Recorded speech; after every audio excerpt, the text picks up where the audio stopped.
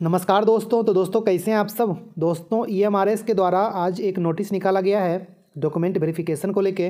तो आइए आपको दिखाते हैं कि इस नोटिस में क्या है और किस पोस्ट के लिए डॉक्यूमेंट वेरिफिकेशन का ये लिस्ट आया है। आइए आपको अच्छे से बता देते हैं। तो दोस्तों, यहाँ पे देखिए, ये आज का ही अपडेट है और ये जो नोटिस है, इसमें लिखा हुआ है, notification for second round of document verification. यानी कि डॉक्यूमेंट वेरिफिकेशन के लिए फिर से एक बार बुलाया जा रहा है किस किस को डॉक्यूमेंट वेरिफिकेशन के लिए कॉल किया गया है? आइए आपको इस पीडीएफ को डाउनलोड करके दिखाते हैं कि किस किस पोस्ट के लिए और किसे किसे कॉल किया गया है।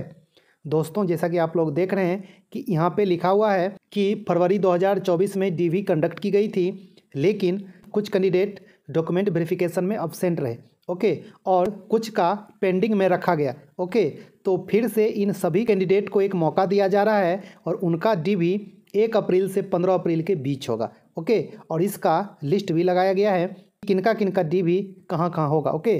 तो आप लोग देख लें कि आपका रोल नंबर इसमें है या नहीं है, ओके?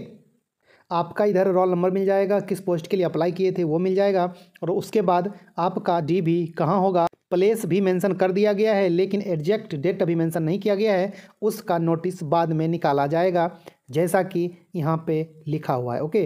तो आप लोग वेबसाइट चेक करते रहेंगे, इसका भी नोटिस बहुत जल्द आएगा, ओके? तो आप लोग इसमें चेक कर लें कि आपका रोल नंबर इसमें है या नहीं है टी टीजीटी इंग्लिश के लिए टी टीजीटी मैथ के लिए, उसके बाद टीजीटी एसएसटी। तो यदि आपका रोल नंबर इसमें है तो आप लोग डीवी के लिए तैयार रहें, ओके? एग्जैक्ट डेट बहुत जल्द घोषित की जाएगी।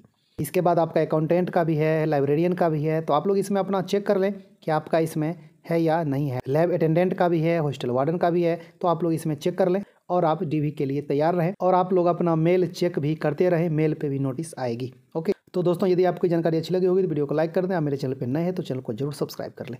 तो दोस्तों, मिलते हैं अच्छा खासा न्यू वीडियो लेके, तब तक के लिए धन्यवाद, नमस्कार।